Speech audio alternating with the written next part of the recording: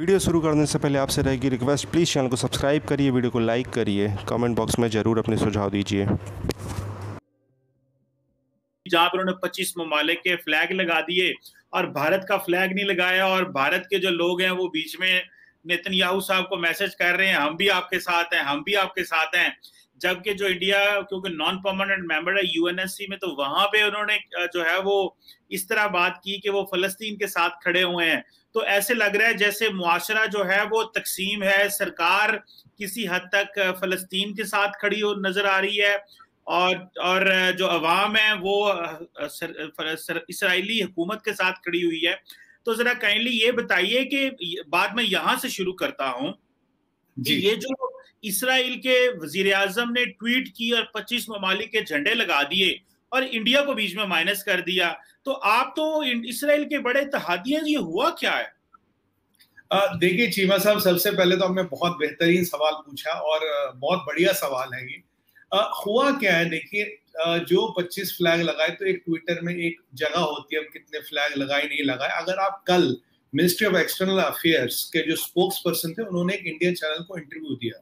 Coat unquote कह रहा हूँ, उसने कहा इंडिया हैज़ सपोर्टेड इसराइल और आप जो टी एस त्रिमूर्ति है, जो हमारे परमानेंट मेंबर है यूएनएससी के, अगर आप उनका स्टेटमेंट केयरफुली समझे और तीन, साढ़े तीन मिनट का स्टेटमेंट और पढ़े, मैंने सुना था कि कल हमारे नेशनल पे एक दो डिबेट्स हुई थी इसमें तो मैं भी उसमें था। तो देखिए, जहाँ तक पैलेस्टाइन की बात है, हमारा स्टैंड पैलेस्टाइन पे बिल्कुल नहीं बदला। पैलेस्टाइन के दो हिस्से है, चीमा साहब। पहला हिस्सा है वेस्ट बैंक दूसरा हिस्सा है गाजा और मोदी जी जब इसराइल गए थे, वो पैलेस्टाइन गए थे, वो वेस्ट बैंक गए थे, वो महमूद अब्बास साहब से मिलने गए थे। हम गाजा नहीं गए थे क्योंकि हमस की गवर्नमेंट को हम नहीं मानते।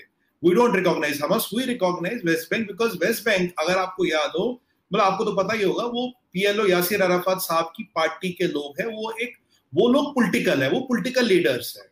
और अराफत, और हम पहली कंट्री थे पूरे एशिया में जिसने पैलेस्टीन की एम्बेसी इंडिया में खोली थी। और स्वर्गीय इंदिरा गांधी जी तो ये भी कहती थी कि यासीन अराफात मेरा भाई है।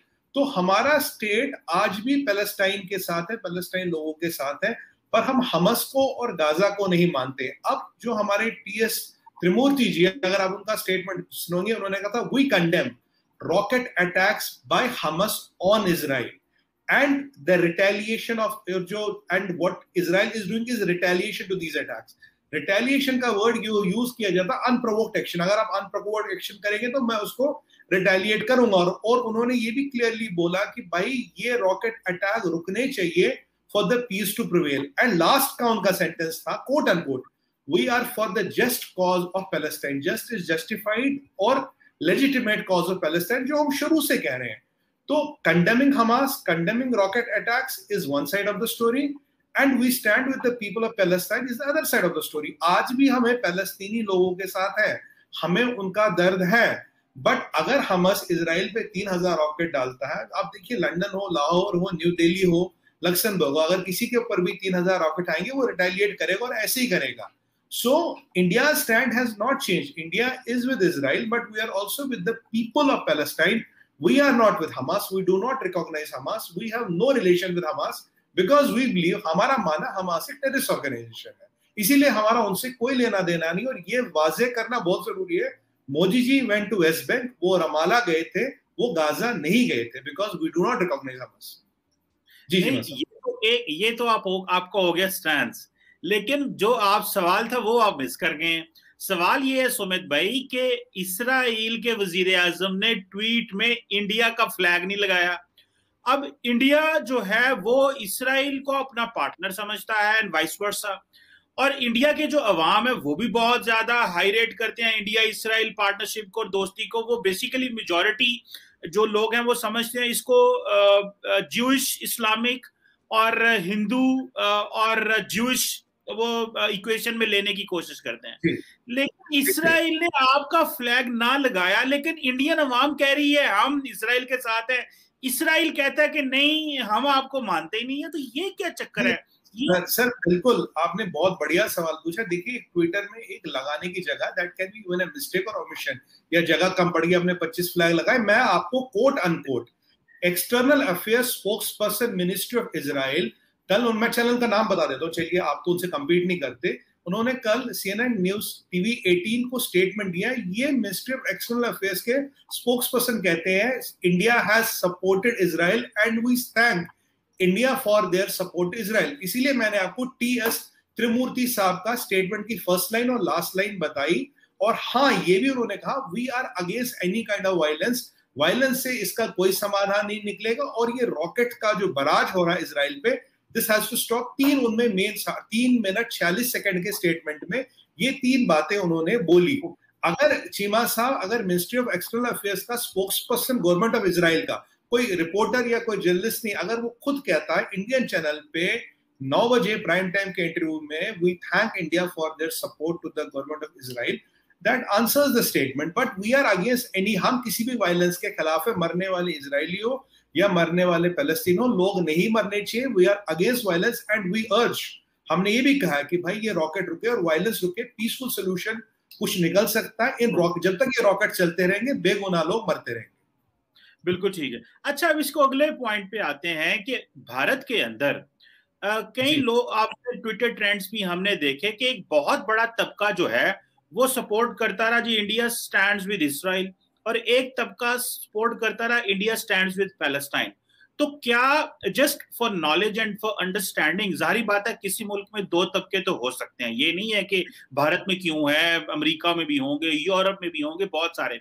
लेकिन भारत में जो ट्रेंड सुमित भाई, वो नोट किया गया, वो ये था कि जो वो लोग थे, जो बेसिकली एंटी मुस्लिम एक सेंटिमेंट्स रखते हैं बेसिकली वो लोग एक जिसे कहते हैं ना कि जस्ट दिखाने के लिए या एक गुस्से के लिए जो मुसलमानों से नफरत करते हैं या जो एक इंडिया के हालात हैं या जो ओवरऑल भी एक Muslim versus Christianity Muslim versus Hindu Muslim versus Jew चलता रहता है।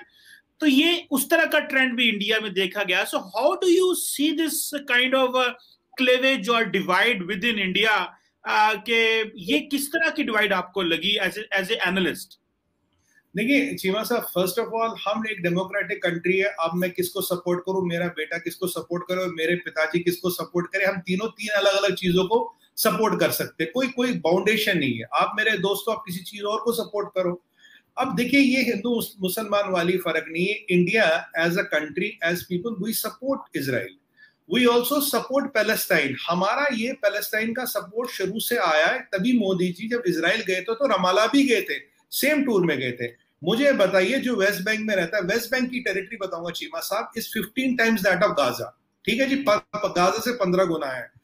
वेस्ट बैंक में एक स्टेबल गवर्नमेंट है, जब उनका इसराइल के साथ ट्रूस और पिछले 15 साल का हिस्ट्री उठाइए गाजा की और वेस्ट बैंक की। गाजा में कोई बड़ा इंसिडेंट नहीं हो, कोई छोटा मोटा इंसिडेंट उन्नीस बीस हो but there is no incident कोई रॉकेट नहीं चलाया गया, कोई कुछ नहीं किया गया। अब भी तो गाइज़ ये वीडियो यहाँ पर होता है ख़त्म। आप यहाँ से ये वीडियो छोड़कर जा सकते हैं। आपने देखा पाकिस्तानी मीडिया के जो पॉलिटिकल एनालिस्ट थे और काफ़ी फॉरेन मैटर्स पर काफ़ी नज़र रखते हैं और इंडियन मीडिया में काफ़ी देखते हैं, कमर चीमा बात कर रहे थे इसराइल और भारत के लेकर। भारत को लेकर कि इसराइल के जो प्राइम मिनिस्टर है नेतन्याहू, उन्होंने जो एक ट्वीट किया था जिसमें बहुत सारी कंट्री के फ्लैग थे, उसमें भारत को शुक्रिया क्यों नहीं बोला? तो गाइज़ इस बात को लेकर मैं आपको आसान शब्दों में बता दूँ कि आपको पता होगा दोस्तों कि भारत का क्लेम है पी और अक्साई चीन पर। और भारत अगर इन चीज़ों पर क्लेम रखता है और अगर इसराइल का सपोर्ट करता है तो इसराइल का भी ऐसे ही कुछ जगह पर कब्जा है। जैसे कि पाकिस्तान का पीओके में है, वैसे ही इसराइल का कुछ जगह पर कब्जा है। अगर भारत इसराइल के साथ खड़ा हो जाता है तो भारत को वहाँ पर डिसएडवांटेज हो जाएगा। और भारत फिर अपना खुद का केस कैसे लड़ेगा? अगर दूसरे के केस में ऐसा अड़ंगड़ आएगा जिसमें डिफरेंट तरीके से उसे हैंडल कर रहा है और ख़ुद के में उस तरीके का नहीं मान रहा है। और दूसरा पॉइंट इसमें यह है कि भारत के बहुत सारे लोग काम करते हैं, अरब, यूएई, सऊदी अरब जैसे के जो अरब देश हैं वहाँ पर। तो अरब देशों में काम करते हैं, आपको भी पता है दोस्तों, भारत का अरब देशों के साथ अच्छा रिश्ता है और अरब देशों का भारत में बहुत सारा इन्वेस्टमेंट है। तो अब अरब देश भी खुलकर इसराइल का समर्थन नहीं कर रहे हैं, लेकिन उनके इसराइल के साथ बहुत अच्छे रिश्ते हैं। ये भी सबको पता है, अरब देश ने ही इसराइल के साथ अभी रिश्ते नॉर्मल किए यूएई ने अभी हाल ही में रिश्ते नॉर्मल किए हैं। तो अरब देश में जो भारत के लोग काम करते हैं, अगर भारत खुलकर इसराइल का समर्थन करने लगे तो अरब देशों पर प्रेशर आएगा कि आप भारत के खिलाफ़ कोई कड़ा एक्शन लें। जो अरब देशों के लिए कोई प्रॉब्लम क्रिएट कर सकता है, जिसकी वजह से भारत इसराइल का खुलकर समर्थन नहीं करता है।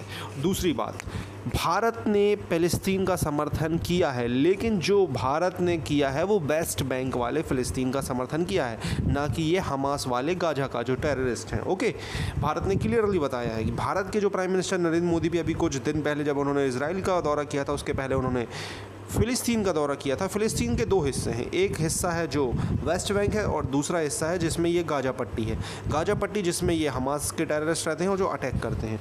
तो इस तरीके से इस इशू को समझना चाहिए। मैंने आसान शब्दों में समझाया, हालाँकि जो यहाँ पर कमर चीमा के साथ जो इंडियन पैनलिस्ट बैठे हैं, उन्होंने भी बहुत अच्छे से समझाया। तो गाइज़ इस चीज़ को समझना बहुत ज़रूरी है। और आप समझ सकते हो कि पाकिस्तानियों को तो बेचारे जो फ़िलिस्तीन है, अभी पिट रहे थे, उनका रोना रो रहे थे, लेकिन इसराइल ने भारत का समर्थन नहीं किया बात को लेकर ये हंसने लगे। इससे समझ सकते हो कि आप ये कितने बड़े बेवकूफ़ हैं। बेवकूफ़ी का इन्होंने सर्टिफिकेट लिया हुआ और इन्होंने प्रूफ भी कर दिया। तो गाइज़ ये वीडियो यहाँ पर होता है, खत्म। आपको ये वीडियो कैसा लगा प्लीज़ कॉमेंट बॉक्स में लिखा चैनल को सब्सक्राइब करें, वीडियो को लाइक करें।